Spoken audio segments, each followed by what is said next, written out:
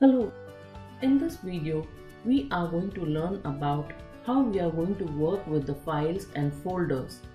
We will learn how in Windows operating system we can create, copy, modify, search or delete files on a computer. Let's start by learning how to create a file or a folder. Most of the apps you use have a new, a save or save as button which gives you an option to save a new file directly through the application.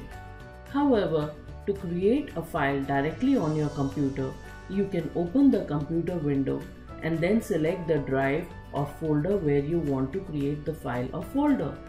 If you right click anywhere on the windows, a shortcut menu appears. If you click on new, a sub menu appears. You will see an option to create a new folder of files of different type. You can click on any of them to create an empty file or folder. Then you type in the name and press the enter key. A new file or folder is created. If you want to rename it, you can select the file by single left click and then press right click. The shortcut menu appears. You will see a rename option which will make the file name editable if clicked. You can also alternatively click on the file name and it will make it editable for you to change the name. Now if you double click on icon next to the file name, it will open the folder or associated application with the file. You will see that it is empty and you can now start using it to create your information. Now if you want to view the properties of the file or folder, you can select it by a single click and then do a right click. A shortcut menu appears. Click on the properties option. A properties dialog box appears with multiple tabs such as general, security, etc. You can get details such as size, type, location, creation date, etc. on the general tab. You can also move the file or folder from one location to another. To do this, you first select the file you want to move by a single click on its icon. Then you do a right click to open the shortcut menu. Then you click on the cut option.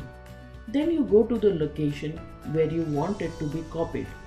Right click anywhere on the window and then click on the paste option on the shortcut menu. Similarly, you can cut the file or folder to a new location. Here similar to cut, you select the file and open the shortcut menu.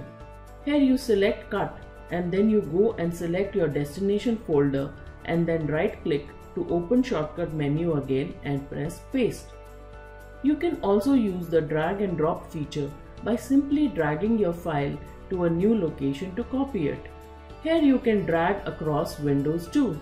You would have by now noticed a delete option too in the submenu. You can press delete if you no longer want to view the file or folder.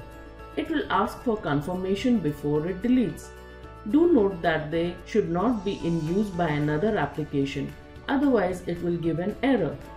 The deleted file is moved to recycle bin and can still be recovered if required.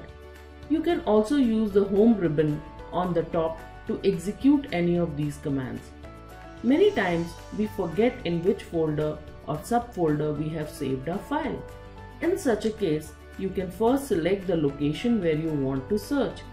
You can then type in the name or part of it, even any words from the content in the search reference bar. It will return a list of files which match with the search criteria.